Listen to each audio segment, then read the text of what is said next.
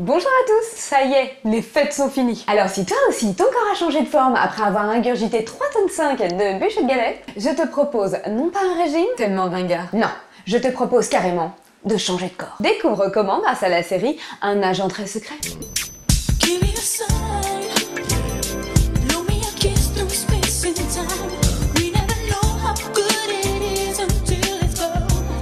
Un agent très secret Now and Again en anglais. Donc là les mecs font carrément plus l'effort de traduire correctement. Y a pas un mot de bon là-dedans. Est une série américaine créée par Glenn Gordon Caron, scénariste et réalisateur de la série Medium. Un agent très secret débarque en 1999 aux États-Unis sur CBS et fête cette année ses 20 ans. En France, on la découvre en 2000 sur France 2 puis en 2008 sur NT1. Every time you walk by, Alors concrètement, c'est quoi cette histoire de changement de corps? Eh bien, c'est très simple. Michael Wiseman, le héros de notre série, est sur le point de crever parce qu'il s'est fait percuter par le métro. Il y en a qui démarrent bien l'année. Quand il se réveille à l'hôpital, il découvre que le gouvernement a greffé son cerveau sur le corps d'un méga beau gosse. J'ai envie de dire ce sont des choses qui arrivent. Les médecins qui ont toujours beaucoup de tact lui annoncent qu'il est mort et qu'il est désormais la propriété du gouvernement. Bon, petit bonus quand même, maintenant il a des super pouvoirs. Et comme Michael ne s'appartient plus, le gouvernement le force à devenir un agent secret. Le mec était employé de bureau avant, autant vous dire que c'est pas gagné. Et attention, cerise sur le gâteau, il n'a plus droit de revoir sa femme et sa fille. En même temps, qu'est-ce qu'elles auraient fait avec un beau gosse qui a des super pouvoirs? Un agent très secret?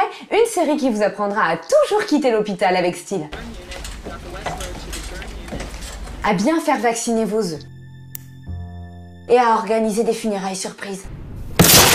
Cette série vous fera découvrir l'homme le plus concentré de l'univers.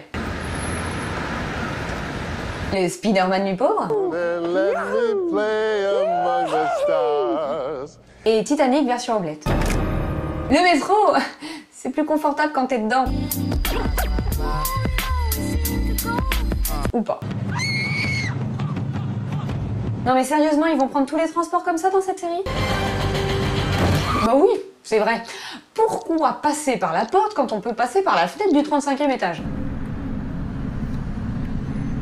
Ah Apparemment, les terroristes vendent des matelas maintenant.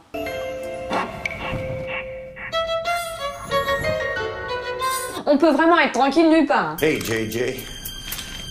Anecdote croustillante droit devant C'est John Goodman, qui a joué dans The Big Lebowski, O Brother, The Artist ou encore La Famille Pire à Feu, qui interprète Michael Wiseman avant son accident. Et après l'accident, Eric Close, qu'on a pu voir dans American Sniper de Clint Eastwood ou encore FBI, porté disparu, prend le relais beau gosse. La série est visible en VO sur YouTube, vous n'aurez pas mieux. En revanche, quand on tape un agent très secret DVD sur Google, on peut acheter l'intégrale du bureau des légendes. Et ça c'est classe. Bon, je vous laisse, je vais prendre le métro dans la gueule.